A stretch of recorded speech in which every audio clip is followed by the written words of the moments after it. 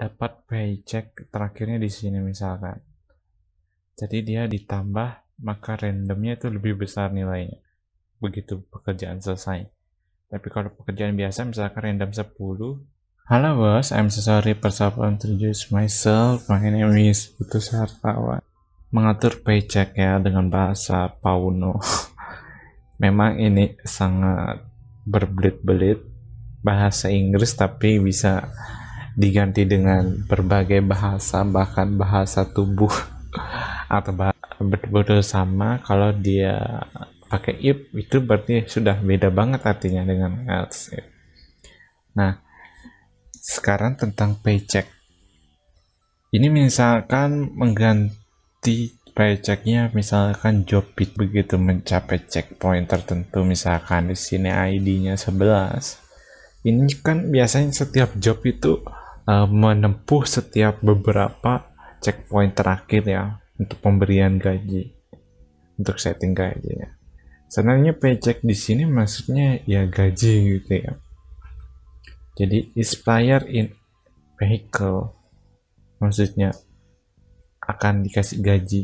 Maka kalau misalkan biasanya pembayaran paycheck ini misalkan contohnya jika player tersebut di sebuah kendaraan. Not notifnya diurutkan kayak begini misal di sini misalkan paychecknya berapa gajinya berapa misalkan 50 ditambah randomnya berapa gitu ya. Cek misalkan 50 berarti ditambah random 100 berarti misalkan nilai randomnya dapat 12 berarti 50 tambah 12 jadi untuk uh, job it maka nanti untuk account banknya ini kan enumnya ya enum dari player info itu nanti ditambah ditambah dari uh, random check itu adalah uh, hasil pertambahan dari 50 ditambah gajinya tadi kira-kira bonus lah atau tipnya gitu ya berapa gitu jadi dia tidak langsung bertambah di uang kantong gitu ya atau di dompet. Jadi ini langsung di akun bank. Selanjutnya bahwa uh, muncul notifikasi bahwa dia mendapatkan sebuah integer bahwa dia mendapatkan gaji. Itu dari di sini 50 tambah random. Ditambah kalau misalkan gajinya itu mau dicek langsung di notifikasi uh, send client message SCM itu akan mendapatkan enomnya tadi dari uh, player info itu yang di bank itu berapa di sini integernya. Maka dia muncul new bank balance. Jadi di bank itu berubah jadi sekian gitu kan hasil pertambahan dari nilai random checknya tadi uh, ditampilkan juga misalkan di game text port player. Artinya ada teks besar muncul di playernya tentang paycheck baru yaitu random check tadi yaitu ongkos pizza job 50 ditambah tipnya random. Dan ini adalah sound untuk efek. Kemudian ini kan untuk tipe uh, gajinya langsung akun bank ya. Tapi di sini sekarang di setting misalkan secara dia itu per step gitu ya. Misalkan di sini saya adalah CMD kerja dan kerjanya di sini adalah swiper bandara. Jadi di sini uh, setiap enter checkpoint dia berubah terus. Jadi misalkan ke checkpoint tertentu dia mendapatkan ongkos. Misalkan dia masuk ke checkpoint 6 kerja sweeper di bandara. Dia akan mendapatkan ongkos tambahan ya. Jadi uang di dompet atau player money uang di dompet. Itu akan bertambah terus. Player bank dengan player money ceritanya enam yang berbeda. Jadi sampai akhirnya dia dapat paycheck terakhirnya di sini misalkan.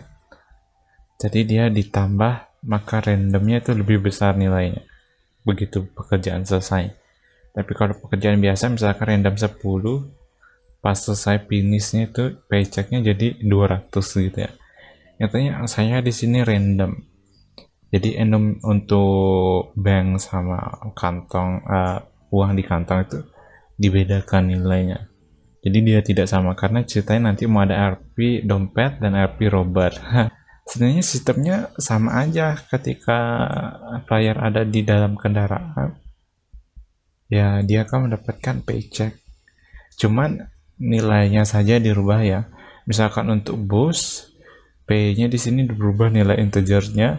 Misalkan gaji standarnya 130 dan tipnya random 200 jadi dia macam-macam itu jadi kalau paycheck ini kan sistemnya ah, harus kerja dapat penghasilan. Tapi kalau PD panggil dia akan mendapatkan 2000 misalkan di sini.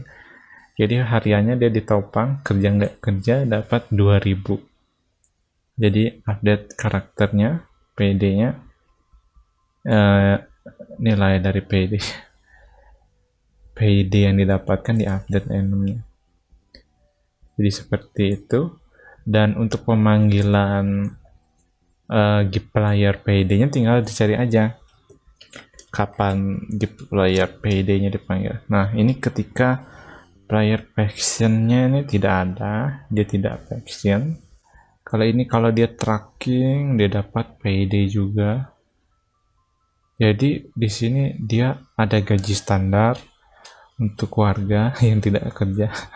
Jadi macam-macam di sini. Jadi modelnya bisa random, bisa diatur sesuai dengan kebutuhan. Give, give player PD-nya. Jadi bisa sesuka hati gitu ya. Intinya di sini misalkan sistem bonus di sini. Nah, ini admin ya admin digaji juga jadi settingan untuk uh, paycheck adminnya di sini dia admin money jadi dia itu uh, get player admin X itu dikali 20 ribu. Waduh. Jadi gaji adminnya di sini berubah datanya karena adminnya digaji loh ya. Ini gaji untuk player biasa. Oke okay, paywage paywage ini dapat dari uh, bank ditambah player data paywage sistem gajinya uh, info gaji. Di sini sweeper ya. Ya cukup di setting di sini aja. Di caranya itu di enumnya saja ya. Dompet ditambah ongkos dia bekerja gitu. Ongkosnya itu di random aja kalau saya. Karena kalau dikasih uh, sama aja gitu ya jadi dia nggak nggak gimana ya nggak make sense. Katanya kan biasanya per harinya itu nggak nentu sebuah penghasilan jadi dikasih random aja. Kalau saya kalau bos misalkan mau atur sesuai dengan yang lain-lain kebutuhannya bisa juga diganti. Misalkan harus nilainya konstan harus pas ya kasih aja integer berapa. Misalkan 9000 9000 gitu. set player money langsung di player money ulang supaya uh, bar di dompet itu dengan enum nilai integer di dompet player money ini supaya sama. Dan selalunya paycheck itu yang besar itu pas kerjanya itu selesai gitu ya checkpoint terakhir